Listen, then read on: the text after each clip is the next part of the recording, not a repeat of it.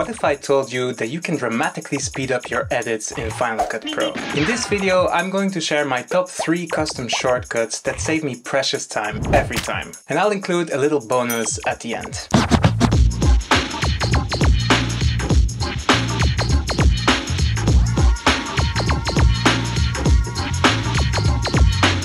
If you're not familiar with setting up custom shortcuts in Final Cut Pro, here's how. Select commands from the menu, then customize or press Command plus Option plus K. This opens the command editor. First, duplicate the default command set in the drop-down menu and give it a name. You can always go back to the default set if you mess up. To see which commands are attached to your keyboard, including the modifier keys, click the keyboard buttons. You can also view a list of available commands and their assigned shortcuts. Categories on the left can help you narrow down the list, but by far the easiest way to find what you need is to use the search function. Now let's take a look at my favorite custom shortcuts. First up, the most common actions, cutting and trimming footage. There are default shortcuts for these actions, but they're scattered across the keyboard, and you'll have have to move your hands all of the time, which isn't very efficient. Let's fix that. Open up the command editor and search for trim. Map trim start to Q and trim end to E. Then search for blade and map it to W.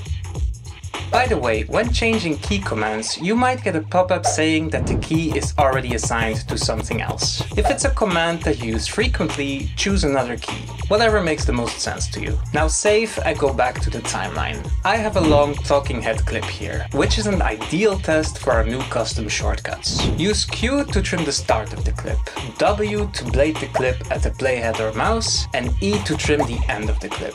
Look how much faster you can work now. All you need is some muscle memory. Next up, something I mess with all the time for b-roll sequences. Speed and retiming. Normally, you would select your clip, click on the retiming options and make your edits there.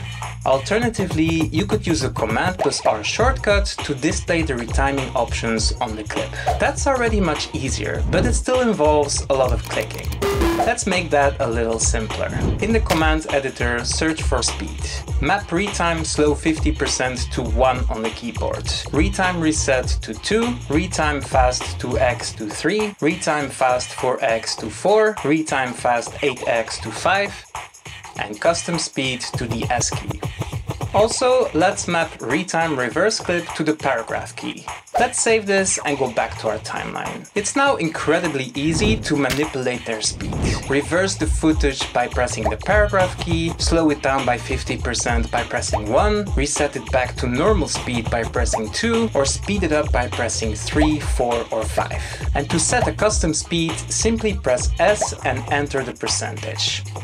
Now let's talk about speed ramping. This is where it gets even better. Press R to use the range tool and select a range in one of your clips where you want to use a speed ramp. Now all you need to do is press one of the shortcuts that we just created and voila, you're speed ramping. Isn't that awesome?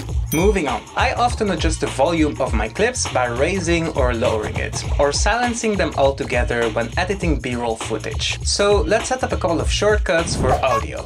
Open the command editor and search for volume. You will see that raise volume 1 decibel and lower volume 1 decibel are already assigned to the control plus and minus keys. I suggest changing these to just the plus and minus keys for simplicity. Let's also map set volume to silence to the zero key, all nice and close together on the keyboard.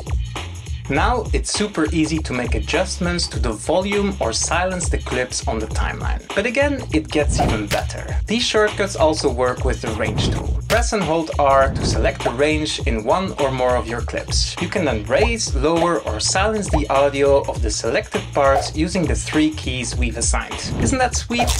What about that bonus you promised us, bro? Right, you know how you click around Final Cut's interface a thousand times to show and hide windows? Not cool. There are shortcuts assigned to most of these actions, but in my opinion, it's a bit too messy. Let's simplify that. In the command editor, click on the Windows category. Then search for show hide. I'll map Command plus 1 to show hide the browser, Command plus 2 to inspector, Command plus 3 to video scopes, Command plus 4 to show hide the timeline index, Command plus 5 for the effects browser, and finally Command plus 6 to the transition browser. So there you have it, a quick look at a couple of my favorite custom shortcuts for editing in Final Cut Pro. If you want to be efficient, you need to start using custom shortcuts. Trust me, you'll save so much time, and you won't go bananas from doing the same clicks over and over again. Stay tuned for a couple more of my videos, and if you found this helpful, don't forget to like and subscribe.